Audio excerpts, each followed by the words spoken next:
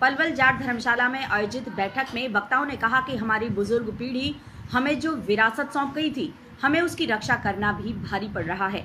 जिस समाज ने प्रदेश और देश की रक्षा करने और पेट भरने में अथाह योगदान दिया है, उस समाज के युवाओं का एक वर्ग भटक कर बदनामी का कारण बन रहा है। वक्ताओं ने ये भी कहा कि समाज का युवा इसके लिए दोषी नहीं है, बल्कि हम स्वयं दोषी हैं, क्योंकि हम अपने बच्चों का पालन पोषण ढंग से नहीं कर रहे हैं और ना ही उनकी तरफ़ कोई ध्यान दे रहे हैं। हम उन्हें संस्कारिक शिक्षा देने की बजाय उन्हें नैतिक पतन की ओर धकेल रहे हैं। हमें अपनी युवा पीढ़ी को बहकने से बचाने के लिए हर संभव प्रयास करने होंगे। इस अवसर पर निर्णय लिया गया कि समाज के प्रबुद्ध लोगों की कमेटियाँ बनाकर गांव-गांव जाकर अभियान चलाया जाए। युवा पीढ़ी को अपने साथ जोड़कर उन्हें संस्कारवान बनाए जाने का प्रयास किया जाए। बैठक की अध्यक्षता जाट एकता मंच के प्रधान जगदीश तेवतिया ने की। ये ये कि अब जो कमियाँ दिख रही थी काफ़ी दिनों से, कि हमारे जैसे बीच में जाते हैं गाँवों में जाते हैं तो वहाँ भी छोटे बच्चे दारू पिए, घूमते हैं गलियों में। कोई अगर इज्जतदार आदमी या शरीफ आदमी जाता है तो उनसे बदतमीजी की जाती है। तो इन बातों को देखते हुए आज हमारे यहाँ पर जाट धर्मशाला में एक पंचायत बुलाई गई है, जो कि मेन मेन आदमी बुलाए गए हैं। इसके बाद में गाँवों में और तिब्बतिया पाल हुई, अपने सबरी पालों के हिसाब से, पालों के लोगों से बात करेंगे।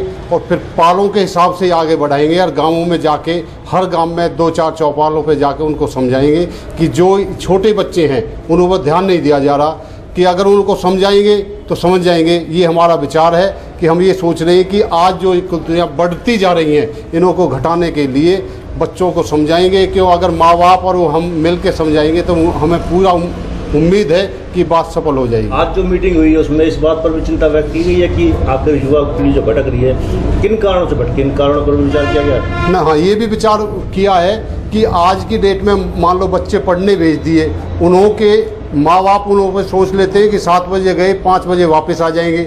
ये नहीं देखते कि कहाँ पे गए हैं कहाँ हैं कैसे अगर उनको ध्यान दिया जाए तो मेरे अंदाजे से दुनिया में ऐसा कोई काम नहीं है कि अगर पूरा नहीं होगा अगर मेहनत की जाए तो।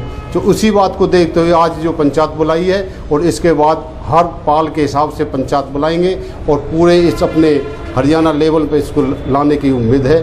और जो ये हमारे जगदीश तेवतिया हैं राष्ट्रीय हाँ। जाट एकता मंच। के साथ आज हमने समाज की मीटिंग इसलिए बुलाई है कि नौजवानों के अंदर बहुत ज़्यादा कुरीतियाँ आई हुई हैं। उनके सुधार के लिए आज हमने पहल किया है और यहाँ से हम उनके सुधार के लिए एक कमेटी बनाएँगे जो गाँवों में जाएँगी और उन लोगों से बात करेंगे कि भी आप लोग का क्या विचार है। इस इस पर हम जो है इस इस बात की आज यहाँ चर्चा हम कर रहे हैं।